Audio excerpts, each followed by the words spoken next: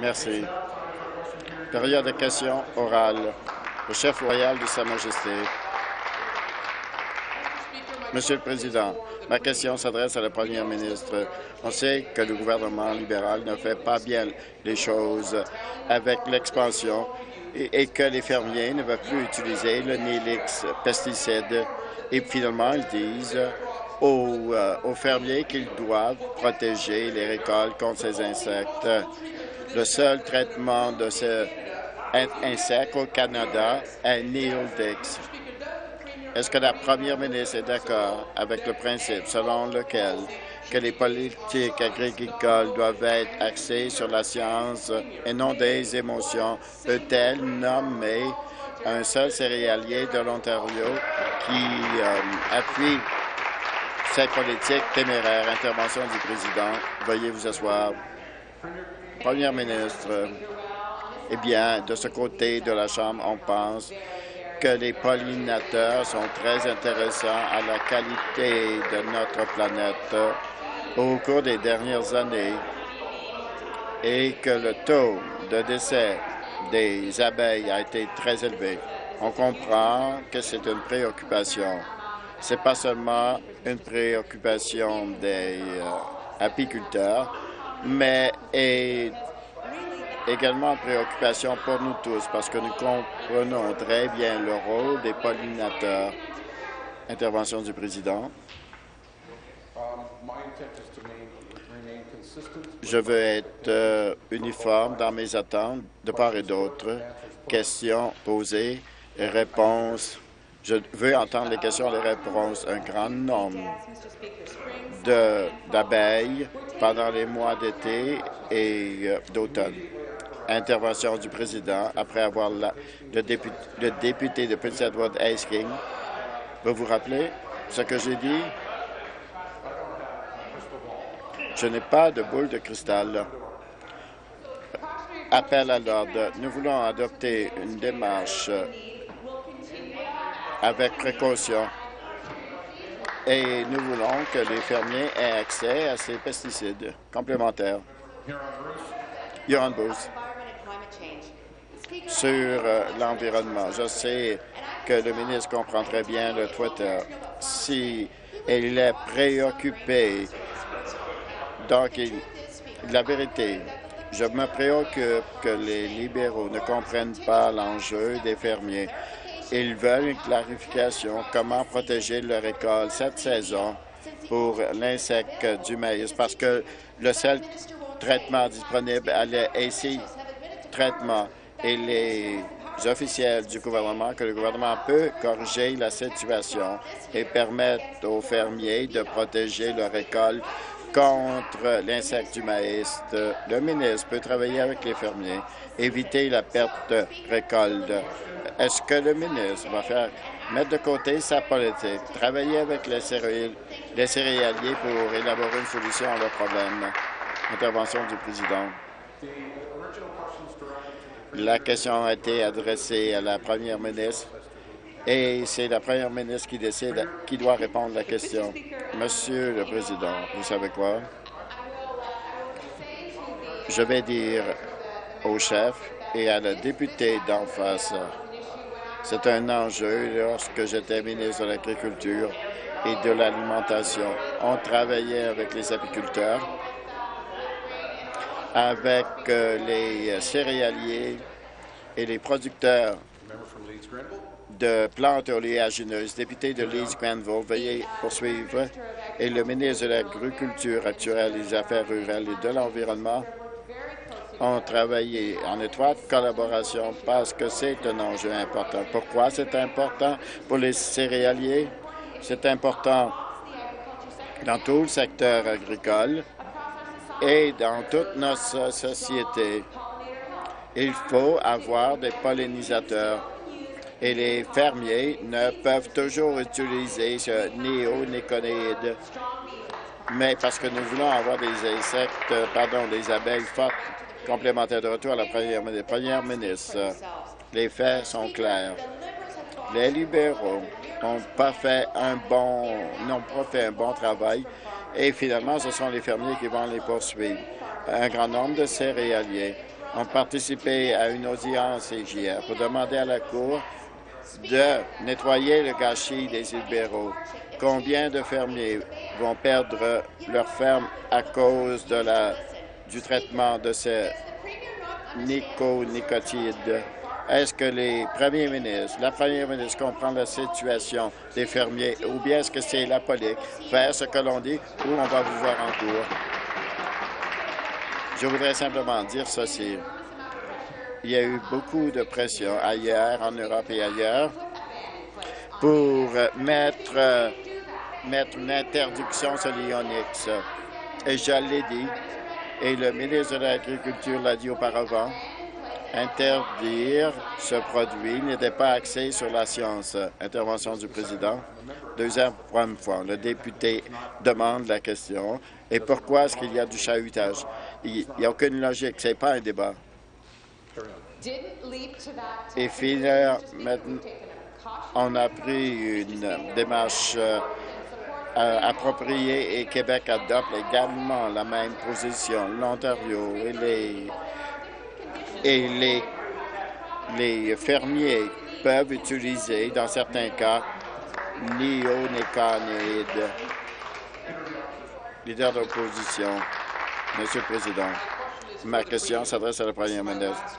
C'est ma dernière question en Chambre cette semaine. Je voudrais rappeler à tous euh, combien en coûtera-t-il Intervention du Président?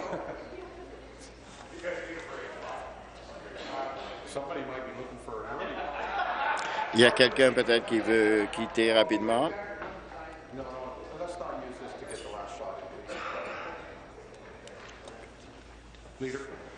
Chef, j'apprécie que le gouvernement veut éviter des questions difficiles.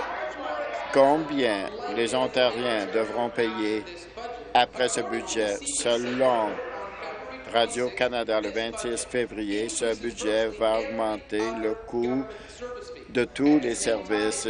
Tout en même temps, il coupe les, les crédits d'impôt sur l'éducation et les enfants. La vie est plus difficile pour les familles moyennes. Ma question est la suivante. Combien êtes-vous pourquoi êtes-vous aussi découpé de la réalité? Je vais reprendre les éléments du budget. Et j'espère que le chef de l'opposition puisse voir certains éléments ou postes de budget qu'il va appuyer. Par exemple, les mesures en matière de changement climatique et afin de réduire la pollution, peut-être qu'il aimerait ce genre de mesures qu'il aimerait appuyer, transformer l'aide aux étudiants, finalement, d'avoir des droits de scolarité gratuits pour les ménages euh, à faible revenu, parce que il a parlé de la classe moyenne. Qu'est-ce que le budget fait? Il y a davantage de droits de scolarité pour les ménages à faible revenu et à revenu moyen. Intervention du président. Et vous savez quoi?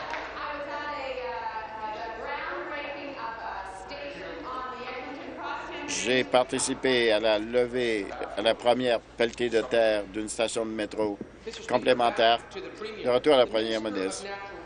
Le ministre des Richesses naturelles, que je m'étais trompé lorsque je et lorsque j'ai dit que le gouvernement va augmenter les frais. Je crois que le ministre n'a pas lu les pages 190-191.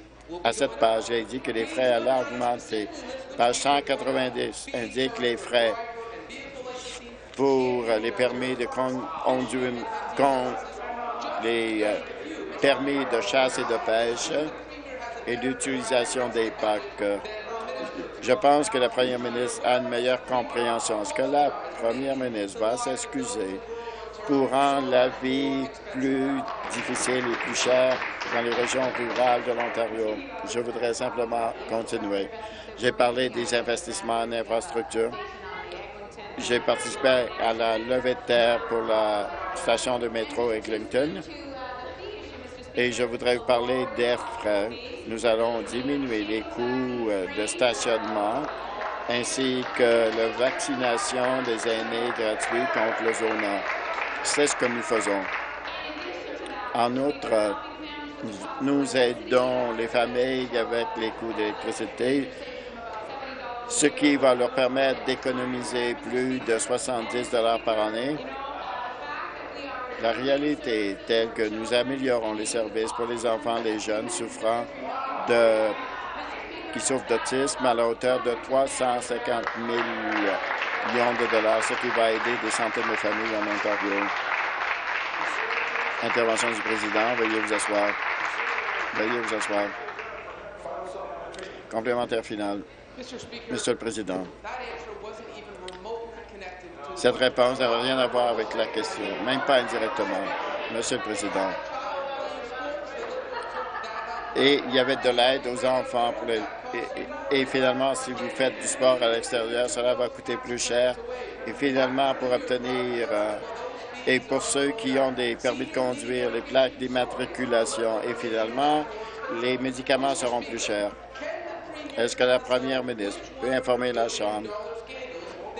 L'un quel euh, scandale, est-ce que c'est Iber Santé Orange, les centrales au gaz, lequel de ces scandales a fait augmenter le prix des services aux Ontariens? Veuillez vous asseoir. Veuillez vous asseoir. Je vais prendre quelques instants pour demander au leader parlementaire adjoint de revoir ses commentaires. Première ministre, eh bien, je demande au chef de l'opposition de parler aux 173 000 aînés qui n'auront plus à payer de franchise sur les médicaments parce que leurs médicaments seront gratuits à cause des modifications. Je demande au chef de l'opposition de parler aux milliers de jeunes de ménages à faible et à revenus moyens qui n'auront plus à payer les droits de scolarité et ou qu'ils auront accès aux études postsecondaires par conséquent, pour avoir un meilleur emploi qui va les aider dans leur vie, qui va aider également la prospérité économique de l'Ontario. Je demande aux députés de parler à ces familles et de parler également aux familles qui souffrent d'autisme, qui n'ont pas eu de service auparavant, qui vont recevoir des services et de l'appui des ressources pour euh, l'appui à ces enfants. Je voudrais qu'ils parlent à ces enfants et à ces familles. Nouvelle question. Député de Nickel Bell. Question pour la Première ministre. Speaker, I live in beautiful Northern Ontario. J'habite dans un joli endroit de l'Ontario. Les choses coûtent plus cher dans le nord de l'Ontario qu'à Toronto. Les aînés dans le nord vivent avec des coûts plus élevés. Est-ce que la première ministre pense qu'il est juste de doubler la, franchise pour les aînés qui vivent dans le nord et dans, le nord de l'Ontario? Première ministre. Je pense que ce qui est juste, c'est que les aînés à faible revenu, qui ne sont pas en mesure de payer la franchise sur leurs médicaments, que nous allons retirer cette franchise et que plus de 173 000 aînés ne paieront aucune franchise sur leurs médicaments. Je pense que cela est juste. En termes de la deuxième partie de cette mesure, je l'ai dit à plusieurs reprises, que nous avons une réglementation en ligne et qu'on entend les gens au, cours de ce processus de cette consultation. Et si ce seuil n'est pas correct, et nous allons porter des modifications. On parle actuellement de 173 000 d'aînés dans le nord, dans les régions rurales et dans les régions urbaines. N'auront plus à payer de franchise sur leurs médicaments. Complémentaire. Merci, Monsieur le Président. Moi, les néo-démocrates pensent que, que la force du réseau de la santé dépend de l'université de l'universalité. C'est pour nous tous. Actuellement, ces mesures sont plus éloquentes que ces paroles. La plupart des années verront leur prix des médicaments augmenter. Est-ce que la première ministre, combien d'aînés paieront davantage pour leurs médicaments? Ministre, première ministre, j'assume, je ne sais pas si la députée comprend si on parle d'intervention du président. Ce que je comprends, que le député de Hamilton Stony Creek est trop près du président. Je ne veux plus l'entendre. Je ne veux pas entendre non plus autre chose. Je n'ai pas besoin d'un autre car arrière. 173 000 aînés payent 100 dollars de franchise pour les médicaments ne seront plus obligés de le payer. Et on aurait pensé que ça serait une politique que les néo-démocrates appuieraient. D'enlever un coût pour les aînés qui est là depuis de longues années et qu'ils seront plus obligés de payer. Donc, nous on enlève euh, cela pour 173 000 aînés qui ne seront pas obligés de payer la franchise de déductible maintenant. Question complémentaire. Je suis préoccupé de plus d'un million de dollars qui doivent payer davantage. Les aînés dans le Nord, en particulier, ne peuvent pas voir les médicaments doublés. Il faut avoir l'accès universel aux soins de santé, pas selon les moyens. Il faut que ça soit accessible aussi pour les médicaments. Mais les libéraux vont dans l'autre direction. C'est un plan qui est mauvais pour un million d'aînés ontariens et Dudley Yard. Et c'est doublement lourd pour les aînés du Nord. Est-ce que elle pense que d'autres 20 jours sont nécessaires pour se rendre compte qu'on va dans le mauvais, la mauvaise direction? Le ministre de la Santé. C'est décevant de voir le troisième parti parler de ce programme de cette façon, quand 173 000 aînés euh, vont payer de 100 dollars de franchise, ils paieront zéro. Et je sais que la chef du parti sera dans le Nord aujourd'hui, est dans le Nord aujourd'hui et demain pour des consultations. J'espère qu'elle va se rendre compte de ses responsabilités de parler non seulement de cette franchise, mais aussi des 173 000 aînés qui ne paieront cette franchise. Sinon, elle ne fait pas la bonne chose pour la population ontarienne. Beaucoup de ces gens vivent dans le Nord et ils vont bénéficier de ce changement. On a des consultations sur le reste c'est un demi-million d'aînés ontariens ne paieront pas de franchise.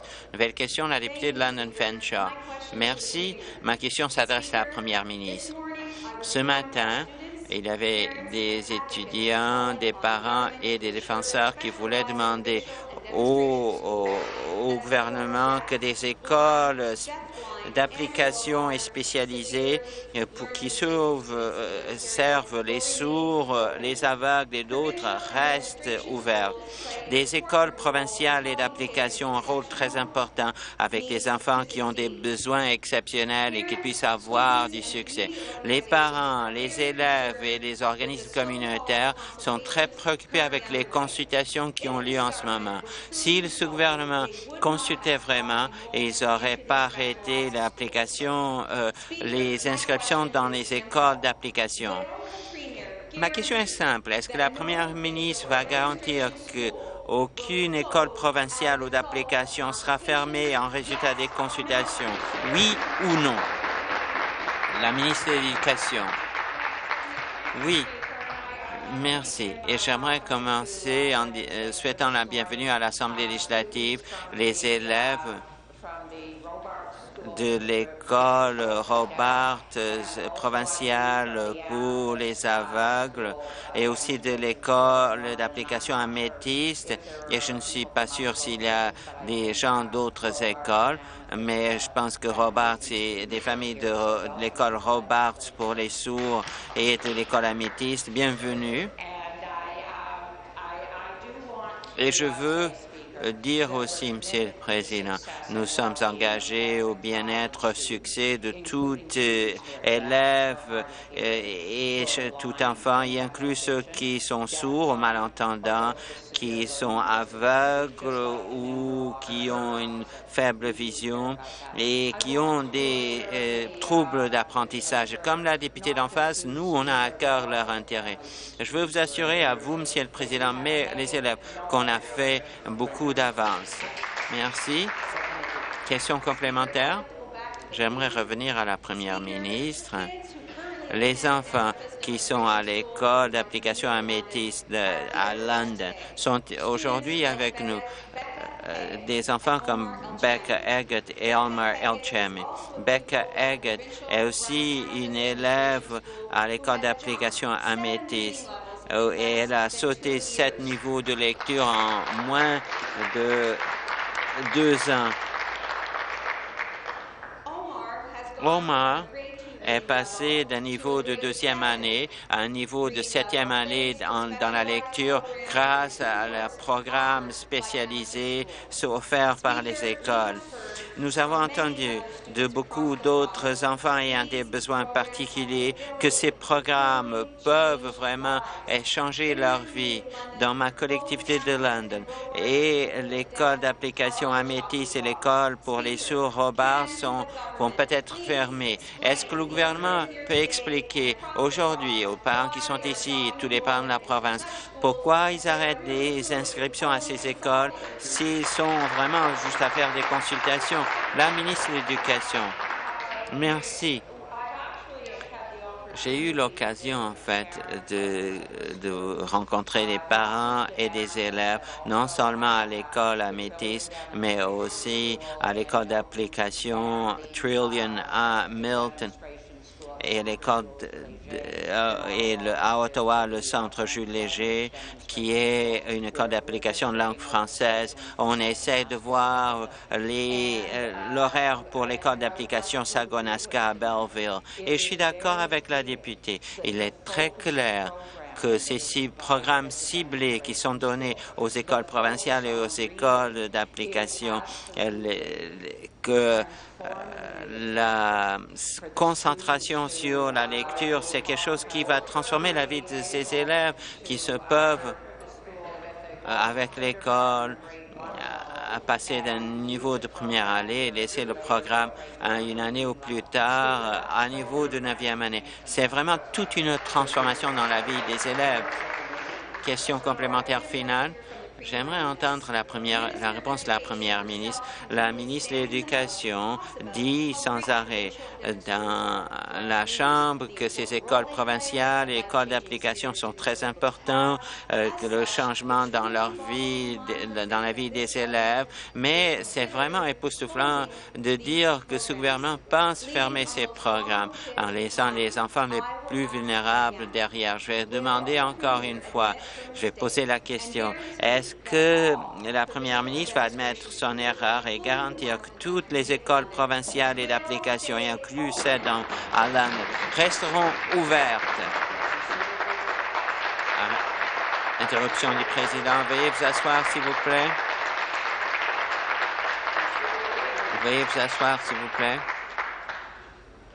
Merci. La ministre? Oui, ce que je veux euh, repenser, à quoi je veux repenser, c'est que les quatre écoles d'application euh, desservent 155 et enfin, nous savons qu'il y a des milliers d'enfants qui ont des problèmes d'apprentissage de la lecture et on veut s'assurer qu'on peut apprendre des programmes dans les écoles d'application et comment on délivre ces programmes ciblés qui peuvent aider les élèves et les enfants à, faire du rattrapage pour la lecture. Et on veut apprendre des écoles d'application afin de pouvoir le faire partout dans la province, pas seulement dans ces quatre endroits. Il faut comprendre comment on peut aider davantage d'enfants que ces, euh, de ces programmes extraordinaires qui ciblent les enfants qui sont en moyenne ou au-delà de la moyenne, mais qui ont eu des besoins qui ont des besoins particuliers. Merci. Nouvelle question. Le député de Kitchener-Conestoga. Merci. Ma question s'adresse à la première ministre. Aujourd'hui, c'est la troisième fois dans trois semaines où j'ai posé des questions à la première ministre et au ministre du manque de surveillants. Quand la, les, l'agence de transport commun Metrolix. La mairesse Bonnie Combe de Mississauga appelle le comportement vraiment époustouflant euh, quand ils ont des règles quand ils ont tout un problème pour une station d'autobus. C'est vraiment époustouflant.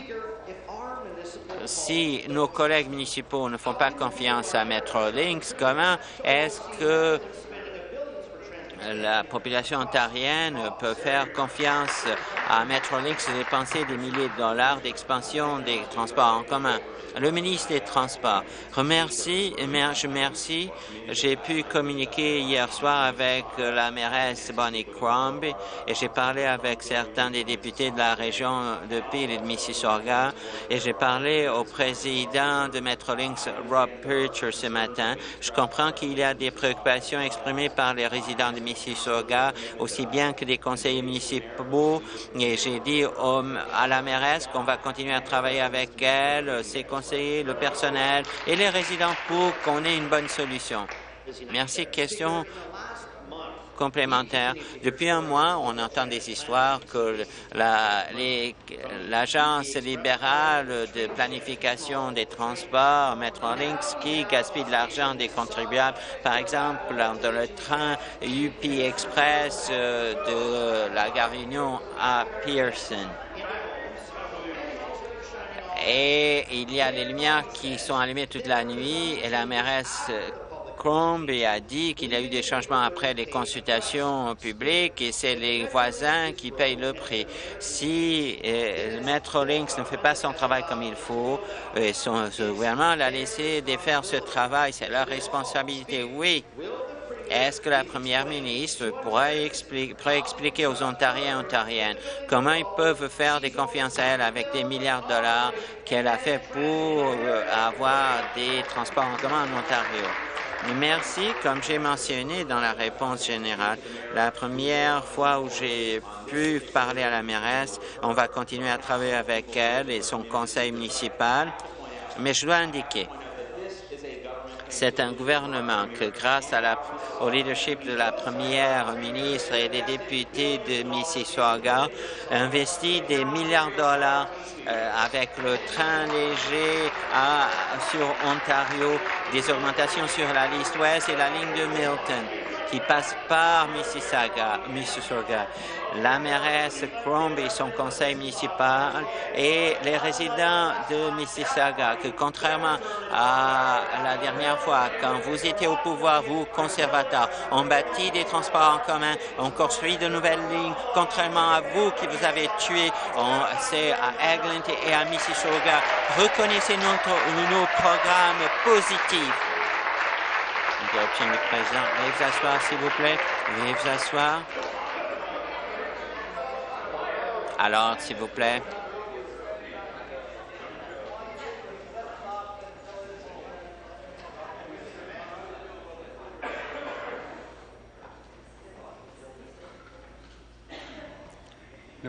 Nouvelle question.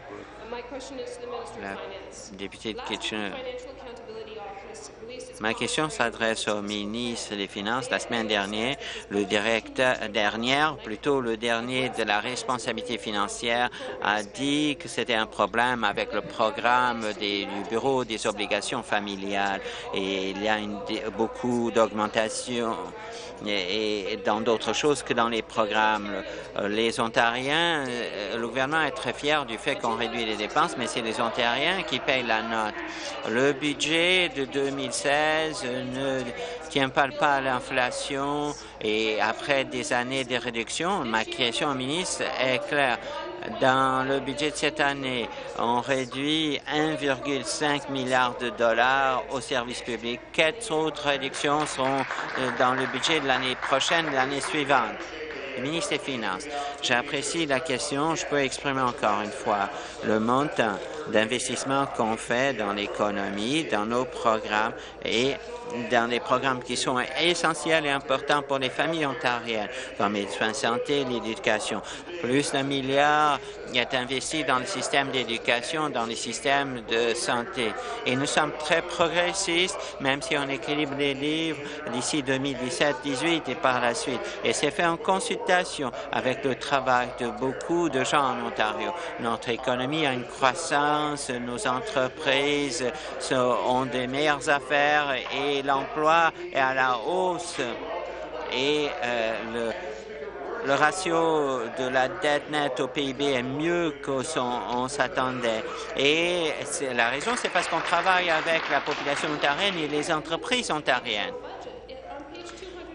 question euh, complémentaire. Le ministre devrait lire son propre budget. À la page 256, il a des réductions et le directeur euh, des de la responsabilité financière dit que ce budget se base sur des prévisions optimistes, presque un million, million de dollars de recettes.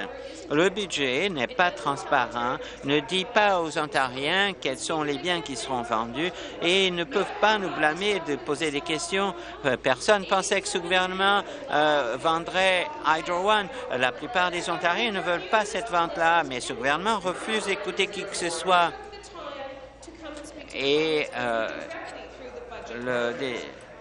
on n'a pas pris le temps de parler au ministre et au comité des finances. Est-ce que le ministre peut nous dire d'où viendra cet argent ou c'est encore un secret?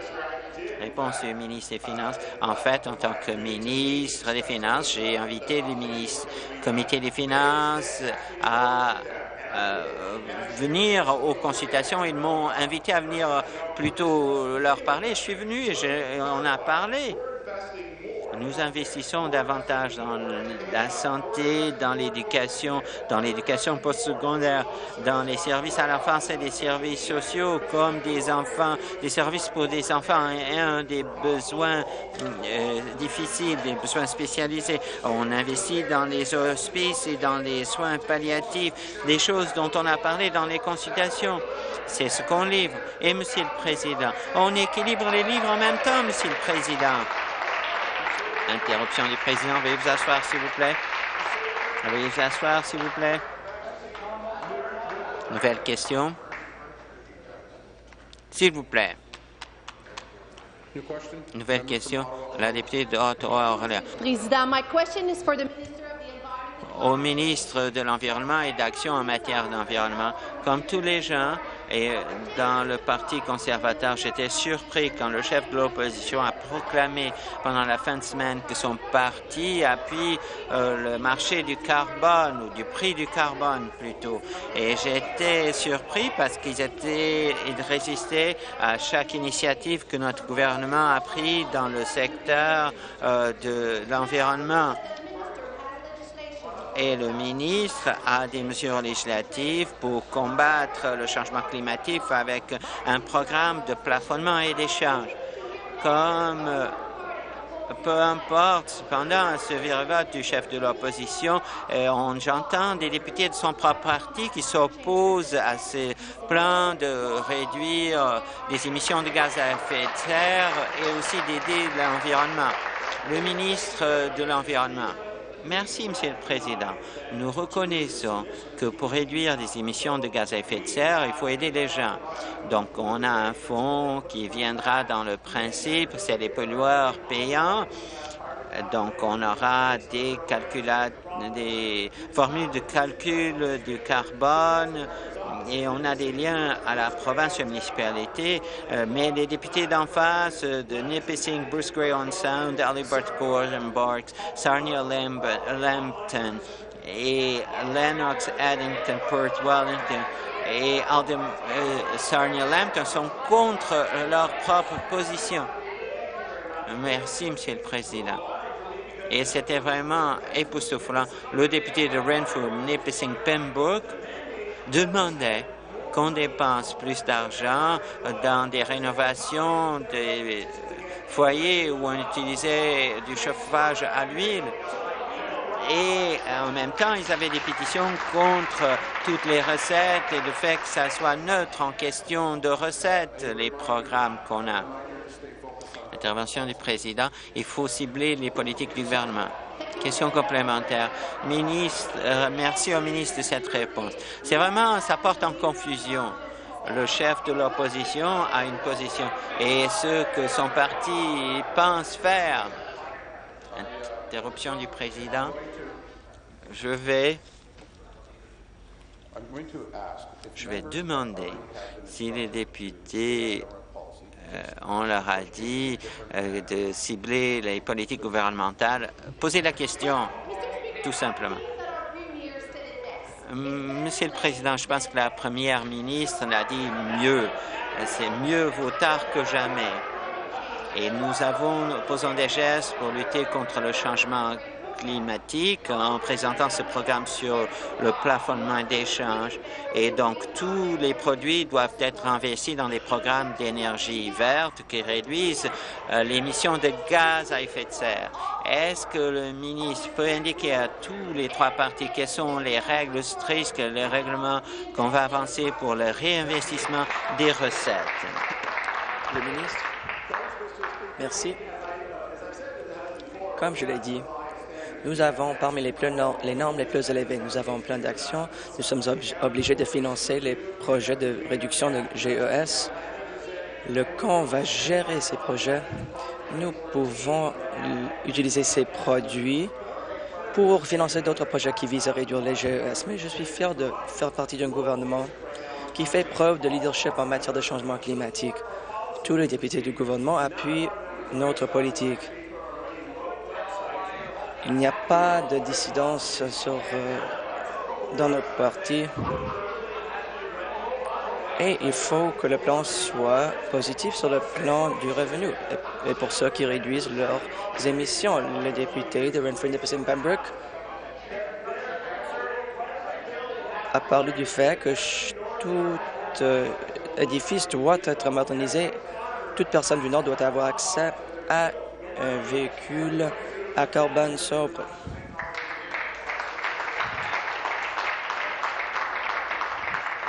Nouvelle question? Député d'Oxford. Merci. Ma question s'adresse au ministre des Affaires municipales et du Logement. Au cours des dernières deux ans, j'ai demandé des questions en ce qui concerne les dépenses de la Société de logement de l'Ontario. Une tiers a été engagée pour effectuer une étude mais l'étude n'est pas indépendante. Est-ce que le ministre peut nous dire si Dennis Weiner, qui a fait beaucoup des dons au Parti libéral, est-ce que c'est la même personne qui a effectué l'étude et Dennis Waterston, qui travaille dans cette, au sein de cette société, est-ce que c'est la même personne qui a donné des milliers de dollars au Parti libéral et qui, qui a été et qui a une qui travaille au sein du bureau du ministre, le ministre des Affaires municipales et du Logement. Monsieur le spectre, avec tout le respect que je vous dois, c'est une question très bizarre.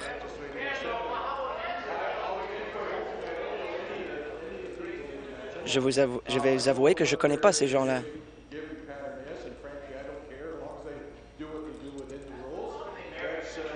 S'ils suivent la règle, ça va. Ils ont le droit de faire des dons. En ce qui concerne la Société des services de logement, le député honorable m'a demandé 35 fois d'avoir une réponse. Et je lui ai toujours donné une réponse, donc il ne reste rien à dire. Complémentaire.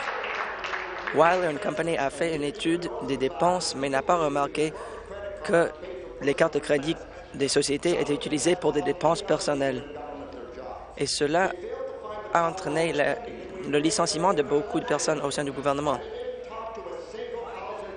Et ils n'ont pas parlé aux gens reliés au service de logement. Comment est-ce que les gens peuvent euh, s'assurer que ce gaspillage sera résolu? Si cette société n'a pas pu même cerner les problèmes qui existent déjà, est-ce que c'est un autre secret du Parti libéral? Le député va retirer ses propos. Je les retire. Et avant de passer au ministre, arrêtez la pendule. Je suis un peu préoccupé. Il y a une tendance qui a été créée. Vous savez, vous savez que, que je vais vous demander de retirer vos propos. Donc, ne dites pas de tels propos. Le ministre. En tant que ministre du Logement, j'essaie de euh, résoudre les problèmes qui ont été créés par le, parti d'en face lorsqu'il a créé la Société de services de logement. Et en passant, vous avez d'excellentes idées et nous voulons les utiliser. Par exemple, les besoins de tout le monde qui dépassent les besoins du particulier. C'est le principe que l'on utilise. Et c'est un excellent principe. Nous allons continuer de redresser les torts du parti d'en face. Nouvelle question, député d'Argama-Malatourne. Merci, Monsieur le Président. Bonjour. Ma question s'adresse à la Première ministre. Les collectivités ontariennes sont en crise. Il y a des pertes d'emplois, des fermetures de scieries et des sociétés étrangères qui entrent dans le marché. Les gens de Sault Ste. Marie, de Hamilton, affrontent euh, une perte d'emploi et de l'incertitude. Les travailleurs ont besoin d'un plan de développement économique qui répond à leurs intérêts. Le député de Sault Ste. Marie ne veut pas écouter ces demandes afin de s'attaquer au problème. Est-ce que la première ministre viendra à Hamilton et à Sault. Marie pour rencontrer les chefs municipaux, les, euh, les syndicats du secteur d'acier, afin de déterminer les mesures que le gouvernement prendra pour aider ces collectivités et pour exercer une pression sur le gouvernement fédéral de mettre en place des tarifs. Le ministre du Développement économique, de l'Emploi et de l'Infrastructure. C'est une question tout à fait importante. Pensons au Parti néo-démocrate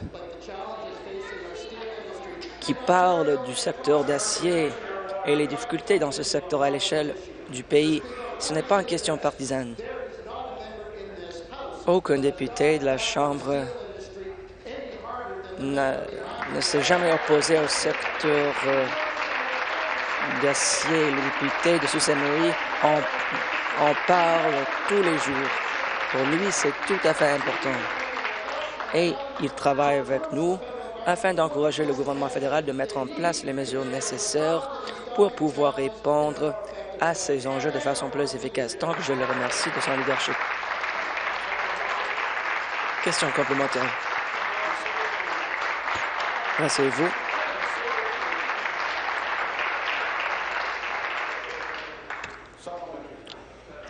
Merci.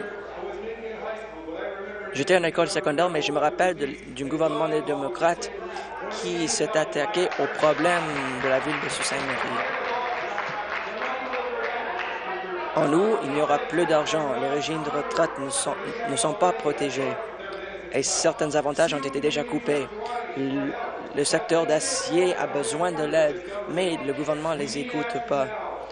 Nous avons besoin de l'action. Il faut collaborer avec les parties prenantes pour que ce secteur n'est pas plus affaibli. Est-ce que la première ministre va arrêter d'ignorer le problème et est-ce qu'elle prendra les mesures nécessaires pour défendre le secteur d'acier de la province? Veuillez vous asseoir.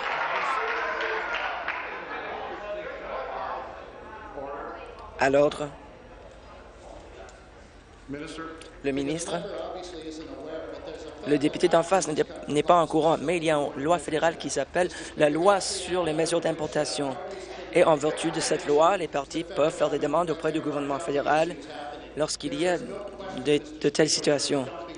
Il y a des problèmes et de l'externalisation qui se passe, et c'est au détriment de notre secteur acier et aussi à l'échelle de l'Amérique du Nord. Le gouvernement est au courant qu'il existe des problèmes avec la loi actuelle?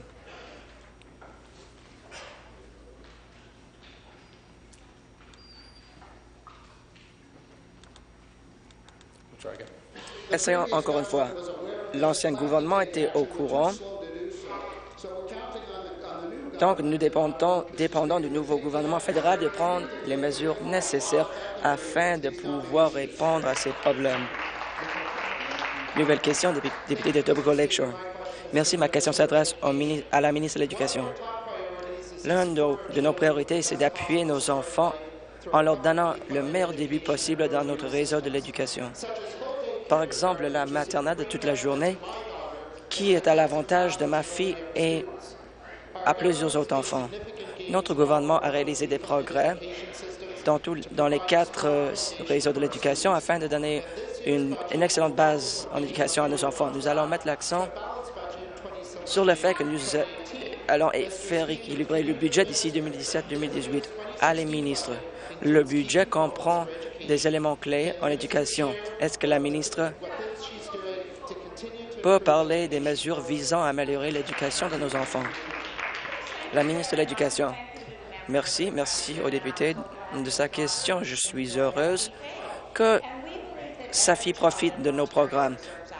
Tous les enfants de la province méritent euh, euh, un excellent réseau de l'éducation. Donc, cette année, dans le budget de 2016, nous nous attaquons aux recommandations déposées par la Commission de, de vérité et de réconciliation. Les étudiants autochtones et non autochtones profitent euh, de l'histoire et des points de vue des Premières Nations du pays. Un parti du projet de loi du euh, budget de 2016 est un investissement de 15 millions de dollars sur trois ans pour euh, élargir la capacité des professeurs et pour euh, mieux former nos éducateurs, éducateurs pour qu'ils puissent enseigner les enfants du rôle des Premières Nations au Canada. Complémentaire. J'aimerais remercier la ministre de sa réponse. Nous sommes très fiers des progrès réalisés en éducation. Dans ma circonscription des Tobacco Lakeshore, j'étais heureux d'apprendre d'un financement visant à élargir une école primaire de, de ma circonscription. Et j'ai hâte de voir les octrois pour les besoins des élèves qui seront déposés en fin mars. Nous serons en mesure de mieux appuyer les élèves en classe. Je suis heureux que notre gouvernement a pris l'engagement de faire en sorte que les conseils scolaires aient les appuis nécessaires afin d'intégrer les nouveaux arrivants syriens. Est-ce que la ministre peut parler des mesures visant à appuyer ces nouveaux arrivants syriens? Un élément de notre budget est de, de mettre à jour nos prévisions en inscription afin d'accueillir les enfants syriens. Environ 4 000 enfants syriens, syriens. Les conseils scolaires auront les ressources nécessaires afin de les appuyer. Nous fournissons de l'appui pour des évaluations visant à déterminer leurs besoins. Certaines viennent des situations tout à fait difficiles.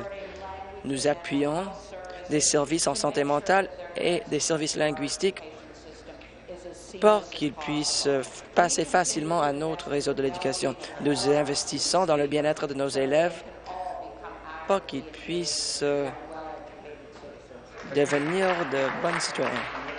Nouvelle question, député de Nipissing. Merci. Ma question s'adresse à la Première ministre. Dans quelques minutes, nous allons faire le vote pour le projet de loi budgétaire qui rendra la vie des antérieurs encore plus inabordables.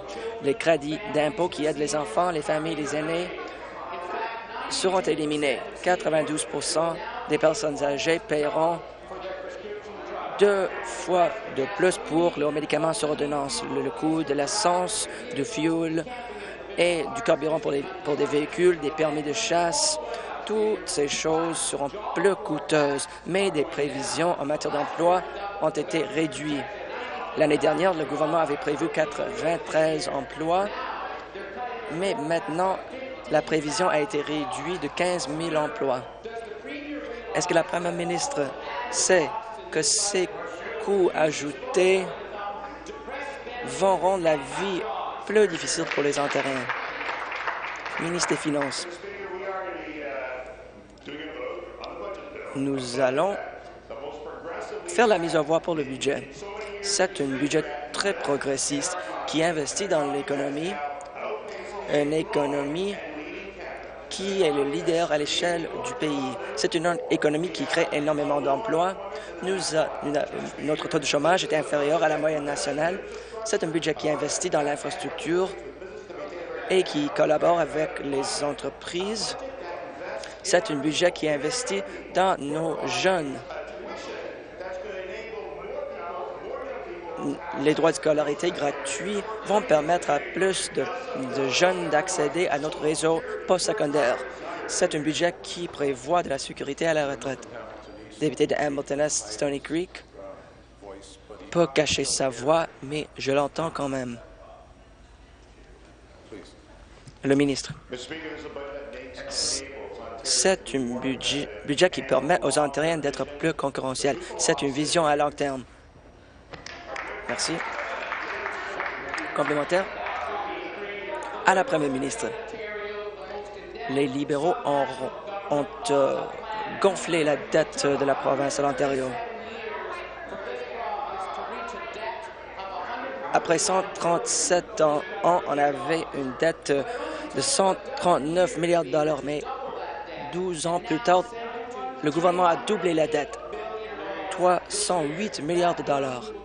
Ça veut dire que nous allons payer 1 milliard de dollars par mois en paiement d'intérêt. Leur mauvaise gestion, leur scandale et leur gaspillage ont provoqué toutes leurs décisions. C'est jamais à l'avantage de la population, mais plutôt à l'avantage du Parti libéral. C'est pour ça qu'ils ont coupé, des programmes des aînés, des enfants. C'est pour ça qu'ils ont fait augmenter le coût des médicaments. Quand est-ce que la première ministre va prioriser la population de l'Ontario? Le ministre. Comme je le disais, les députés d'en face ne sont pas progressistes. Ils font preuve d'un plan à court terme. Et ils, ils veulent retourner aux conditions plus pires. La proportion, le ratio du PIB à la dette est inférieur aux prévisions. Député de Lanark, à l'ordre.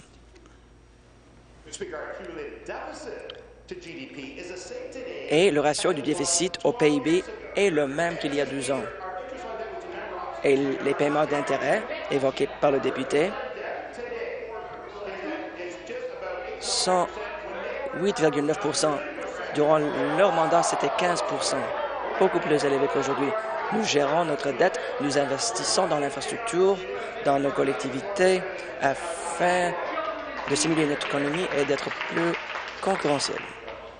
Nouvelle question, député d'Oshawa. Merci. Ma question s'adresse au ministre de la Sécurité communautaire des services correctionnels. En octobre, 31 chiens ont été sauvés d'une euh, combat de chiens. Depuis qu'on les a sauvés, 21 de ces chiens seront tués. Ces chiens ont souffert à cause des, gens, mais le gouvernement croit que la seule décision, c'est de les tuer. Vous pouvez mettre fin à cela. Tous les chiens doivent être protégés. Est-ce que le gouvernement prendra l'engagement de protéger ces chiens au lieu de les tuer? J'aimerais rappeler la députée qu'elle part d'un processus juridique en cours et le processus comprend la Société pour la prévention de la cruauté contre les animaux. C'est un enjeu très difficile et beaucoup de personnes sont préoccupées. Mais comme le sait la députée, il y a eu une demande déposée par cette société en demandant de pouvoir euthanasier les chiens qui ont été sauvés. Et c'est à cause d'un risque à la sécurité du public.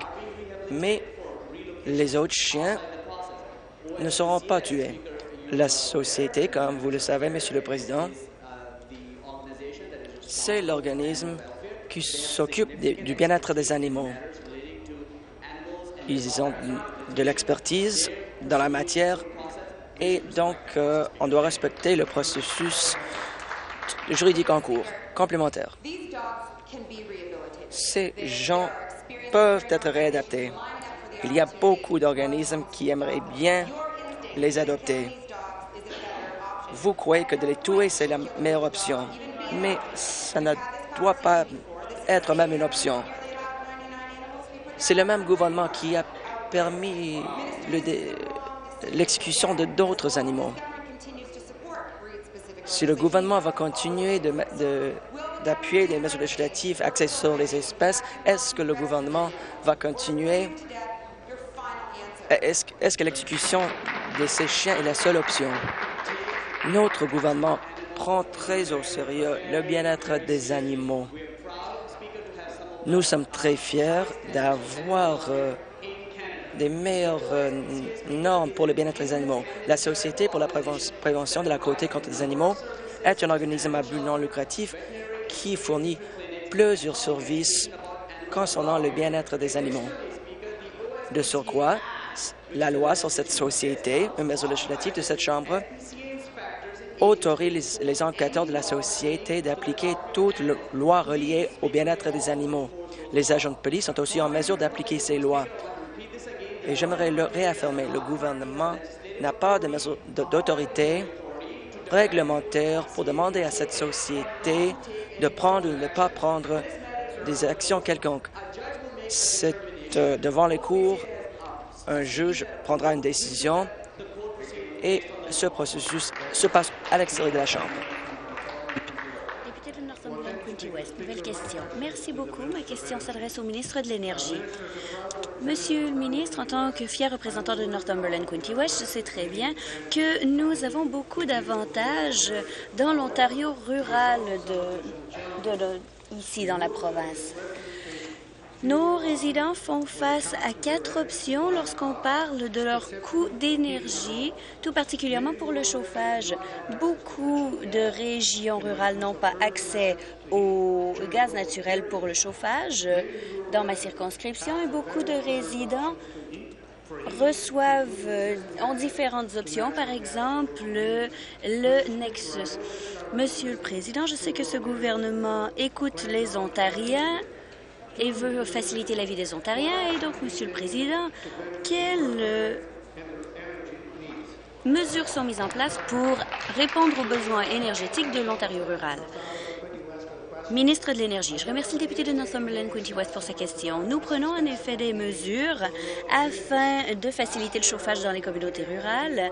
L'an dernier, j'ai demandé à la Commission de l'énergie de l'Ontario de faciliter l'accès au gaz naturel dans l'Ontario rural et maintenant, la Commission tient des audiences publiques pour la façon dont on peut recouvrir les coûts de gaz pour que les collectivités qui n'ont pas accès au gaz naturel y aient accès. Nous sommes maintenant en phase d'approbation pour cinq différentes collectivités rurales. Je travaille avec beaucoup d'autres collectivités de surcroît. Et comme il a été mentionné dans le budget 2016 sur lequel nous voterons aujourd'hui, notre gouvernement planifie avoir 2 millions, 200 millions de dollars pour l'accès au gaz naturel et ainsi qu'une bourse, de, une subvention pour donner accès au, gaz naturel. Monsieur le Président, nous écoutons les collectivités rurales. Complémentaire. Merci, Monsieur le Président. Il est important d'avoir accès au gaz naturel dans nos communautés rurales. C'est quelque chose de très essentiels. Malheureusement, le gouvernement connaît la pression des règles et qu'il y a, nous avons donc beaucoup de programmes pour aider les consommateurs dans le coût à payer leurs tarifs d'électricité, incluant le programme de protection des tarifs dans l'Ontario rural. Lorsque vous regardez la proposition de budget 2016, pour construire un système énergétique plus efficace, naturel et transparent est clair. Nous avons amené des investissements pour aider les Ontariens du, dans les régions rurales à épargner de l'argent sur le chauffage au propane ou à l'huile. Nous voulons investir dans les nouvelles technologies. Monsieur le Président, est-ce que le ministre peut nous dire quelles mesures sont établies pour aider les consommateurs ruraux à payer leurs factures d'énergie? Le ministre, le mois dernier, nous avons investi, nous avons annoncé 100 millions de dollars à un fonds pour aider les gens à voir leur facture d'électricité diminuer. Nous travaillons avec Enbridge et Union Gas pour offrir ce programme à l'extérieur de leur territoire aux consommateurs qui utilisent le propane, l'huile et le gaz naturel pour se chauffer. Il y a 37 000 nouveaux foyers qui verront cette possibilité être offerte. Et nous leur offrons aussi une aide pour changer, par exemple, leur chauffe-eau ou leur chaudière. Nous avons aussi un projet pilote, Monsieur le Président, pour avoir un chauffage moderne. Hydro One paierait 50% des coûts pour une source de chauffage euh, approuvée, diminuant ainsi de 50% le coût d'installation à 1 500 dollars par année, Monsieur le Président, plutôt que 3 000.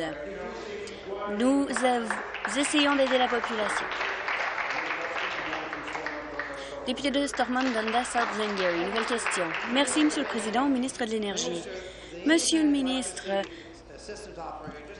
le système d'opération indépendant vient d'approuver un projet d'éolienne dans West Stormont. La collectivité est contre ce parc éolien et vous venez dire que dans votre réponse à la question précédente que vous écoutez les communautés rurales. Je veux connaître votre opinion sur ce sujet. Le ministre de l'Énergie. Les succès d'aujourd'hui concernant ces annonces, c'est que cinq contrats de production d'énergie éolienne de 5,94 cents par kilowatt-heure est un meilleur prix encore. Les contrats de production d'énergie solaire de 30,8 Intervention du président. Vous me regardez directement et vous chahutez. Lise Grenville, vous êtes avertie depuis la deuxième fois. Continuez, Monsieur le ministre. Encore plus important, en plus de ces réussites en diminution des prix, il y a de bonnes réussites en appui à ces projets. Plus de 80% des projets incluent la participation de nos communautés autochtones. 75 des, des propositions réussites étaient appuyées par les municipalités locales. Complémentaire. Au ministre, Monsieur le ministre, la communauté vous a pris au mot. Ils ont refusé 36 000 dollars par année, un, euh, pot de vin par à l'entreprise qu'ils ont refusé. Maintenant, ils ont le projet, mais ils n'ont pas l'argent. Pouvez-vous expliquer comment les, vous demandez de faire confiance à votre gouvernement, mais la population s'en brûle les doigts? Le ministre. Monsieur le Président, il y a eu des négociations entre les municipalités et le promoteur. Monsieur le Président, l'Ontario veut un avenir abordable en électricité et nous tirons déjà avantage de 95 de notre électricité qui est produite par, entre autres, l'énergie nucléaire, solaire et éolienne. Et aujourd'hui, dans ces contrats, nous voyons une confirmation de notre engagement envers l'énergie solaire et éolienne. Pour aider la prochaine génération, nous mettons l'emphase sur les tarifs pour aider les collectivités et diminuer la pression sur la projection des tarifs d'électricité dans le plan d'énergie à long terme de l'Ontario. Aujourd'hui, nous construisons sur les réussites des dix dernières années. Nous allons de l'avant avec un système d'énergie plus vert.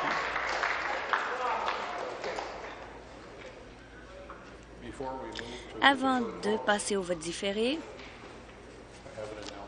j'ai une annonce. C'est la dernière journée pour nos pages.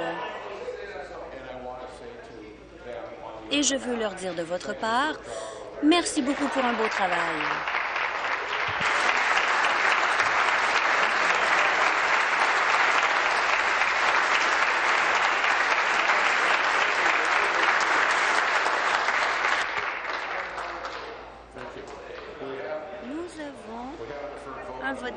Sur la motion pour deuxième lecture du projet de loi 173, loi visant à mettre en œuvre les mesures budgétaires et à édicter ou à modifier diverses lois. Convoquer les députés, sonnerie de cinq minutes.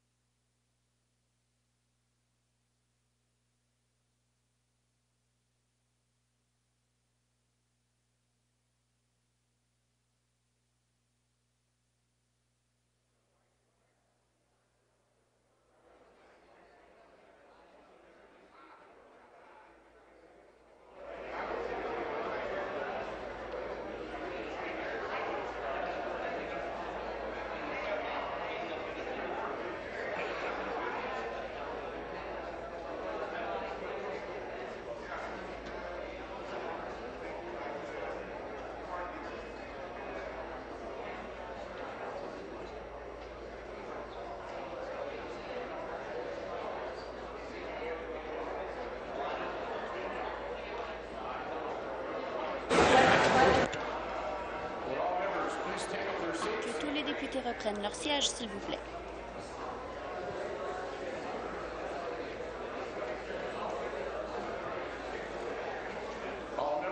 Tous les députés, on reprend vos, reprenez vos sièges.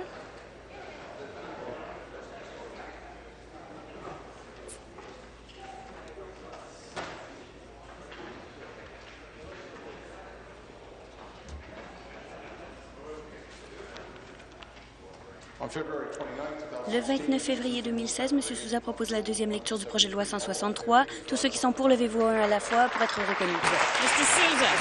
Mr. Nackley. Mr. Bradley. Mr. Shirelli. Mr. Shirelli. Madame Mayer. Madame Mayer. Ms. Wynne. Ms. Wynne. Ms. Matthews. Ms. Matthews. Mr. Hoskins. Mr. Hoskins. Ms. Sandals. Ms. Sandals. Mr. Duguid. Mr. Duguid. Ms. McCharles. Ms. McCharles. Mr. Cole. Mr. Cole. Mr. Berardinetti. Mr. Berardinetti. Mr. Delaney. Mr. Delaney. Mr. Dillon. Mr. Dillon. Mr. Rossetti. Mr. Rossetti. Mr. Gravel. Mr. Gravel. Mr. McMeekin. Mr. McMeekin. Mr. Murray. Mr. Murray. Mr. Chan. Mr. Chan. Mr. Moridi. Mr. Moridi. Mr. Coteau. Coteau. Mr. Leal. Mr. Leal. Mr. Flynn. Mr. Flynn. Madame Lalonde. Madame Lalonde. Padre. Mr. Quadri. Mr. Balkison. Mr. Balkison. Mr. Dixon. Mr. Dixon. Ms. Mangat. Ms. Mangat. Mr. Crack. Mr. Crack. Ms. Hunter. Ms. Hunter. Mr. Sergio. Mr. Sergio. Mr. Morrow. Mr. Morrow. Ms. Jassic. Ms. Jassic. Mr. Del Duca. Mr. Del Duca. Ms. Domerla. Ms. Domerla. Ms. Wong. Ms. Wong. Mr. Fraser. Mr. Fraser. Mr. Anderson. Mr. Anderson. Mr. Baker. Mr. Baker. Mr. Ballard. Mr. Ballard. Mr. Dong. Mr. Dong.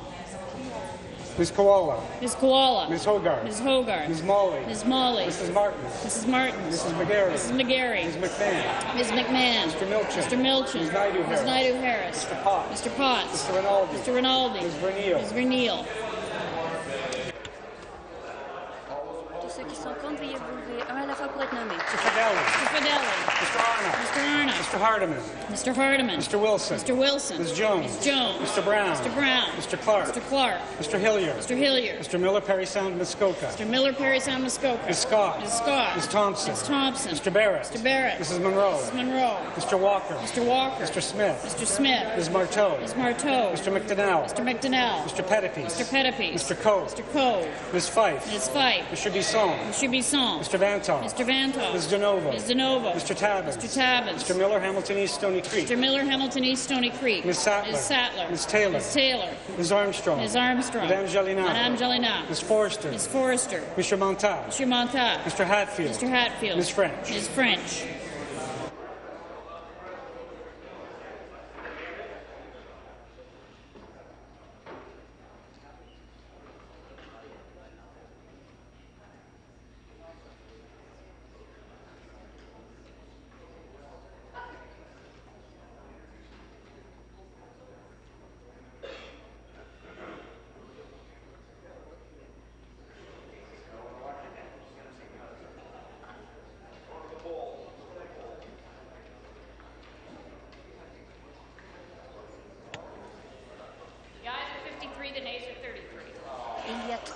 53 pour, 33 contre. Il y a 53 pour, 33 contre. La motion est adoptée. Deuxième lecture du projet de loi. Conformément à l'ordre de la Chambre du 9 mars 2016, le projet de loi est enferré au Comité permanent des, finances et des affaires économiques. Nous avons un vote différé pour la motion d'ajournement du débat pour le projet de loi 172, loi concernant les gaz à effet de serre. Convoquer les députés, sonnerie de cinq minutes.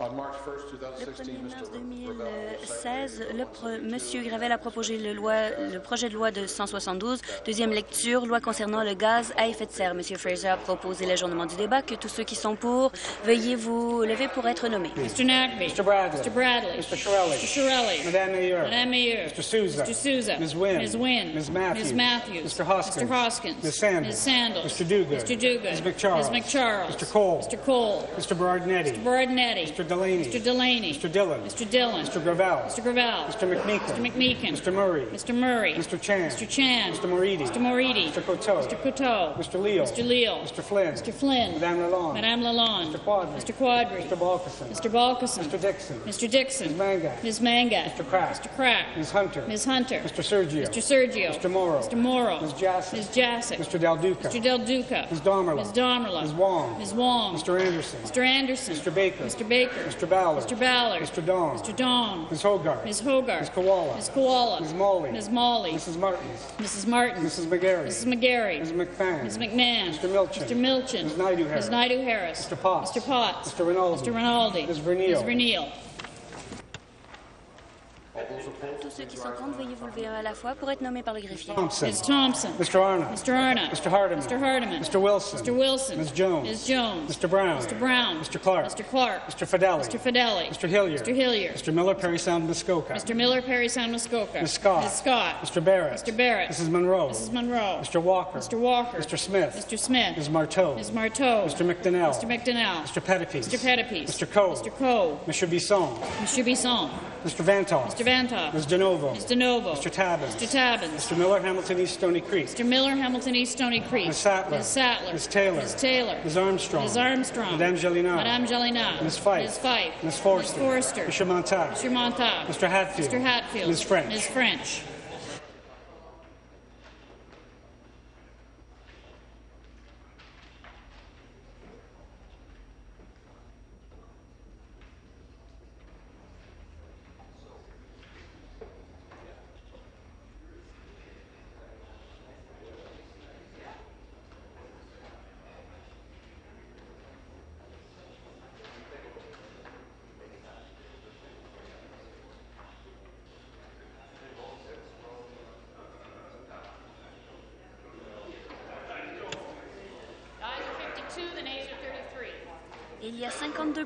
33 contre. The ayes being 52. Il y a 52 pour, 33 contre. La motion est adoptée.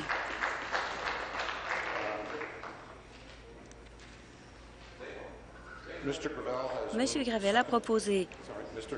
Monsieur Gravel a proposé la deuxième lecture du projet de loi 172, loi concernant les, les gaz à effet de serre. Tous ceux qui sont pour, veuillez vous lever un à la fois. Oh, oh, sorry. Pardon, I missed the spot. Je me suis trompée. Uh, Plaît-il à la Chambre?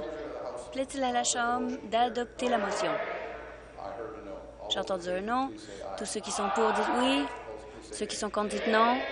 Selon moi, le oui l'emporte. Sonnerie de 5 minutes.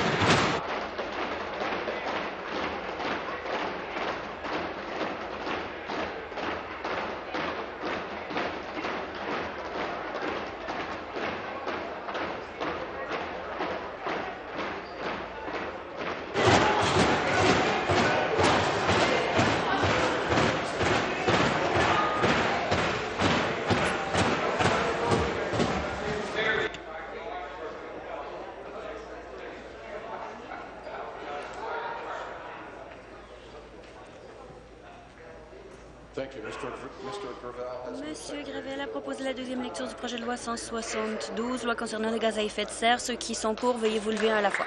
Mr. Nackley. Mr. Nackley. Mr. Bradley. Mr. Bradley. Mr. Shirelli. Mr. Shirelli. Madame Mayer. Madame Mayer. Mr. Souza. Mr. Souza. Ms. Wynn. Ms. Wynn. Ms. Matthews. Ms. Matthews. Mr. Hoskins. Mr. Hoskins. Ms. Sanders. Ms. Sandals. Mr. Duguid. Mr. Duguid. Ms. McCharles. Ms. McCharles. Mr. Cole. Mr. Cole. Mr. Borodnetti. Mr. Borodnetti.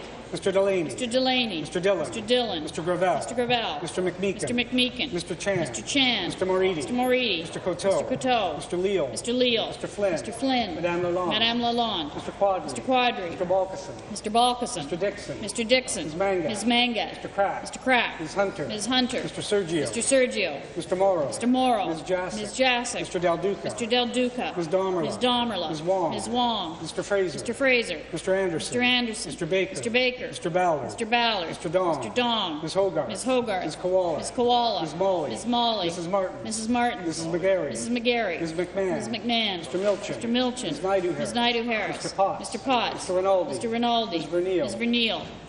Mr. Tabbins. Mr. Tabbins. Mr. Bisson. Mr. Bisson. Mr. Vantall. Mr. Vanthof. Ms. DeNovo. Ms. DeNovo. Mr. Miller, Hamilton East, Stony Creek. Mr. Miller, Hamilton East, Stony Creek. Ms. Sattler. Ms. Sattler. Ms. Taylor. Ms. Taylor. Ms. Armstrong. Ms. Armstrong. Madame Gélinas. Madame Gélinas. Ms. Fife. Ms. Fife. Ms. Forster. Ms. Forster. Mr. Montauk. Mr. Montauk. Mr. Hatfield. Mr. Hatfield. Ms. French. Ms. French. Tous ceux qui sont contre veulent lever à la fois pour être nommés par le greffier. Thompson. Mr. Arnold. Mr. Arnold. Hardeman. Mr. Hardeman. Mr. Wilson. Mr. Wilson. Ms. Jones. Ms. Jones. Mr. Brown. Mr. Brown. Mr. Clark. Mr. Clark. Mr. Fidelli. Fidelli. Mr. Hilliard. Mr. Hilliard. Mr. Miller, Muskoka. Mr. Miller, Parasite, Muskoka. Ms. Scott. Ms. Scott. Mr. Barrett. Mr. Barrett. Mrs. Monroe. Mrs. Monroe. Mr. Walker. Mr. Walker. Mr. Smith. Mr. Smith. Ms. Marteau. Ms. Marteau. Mr. McDonnell. Mr. McDonnell. Mr. Pettipies. Mr. Pettipies. Mr. Coe. Mr. Cole.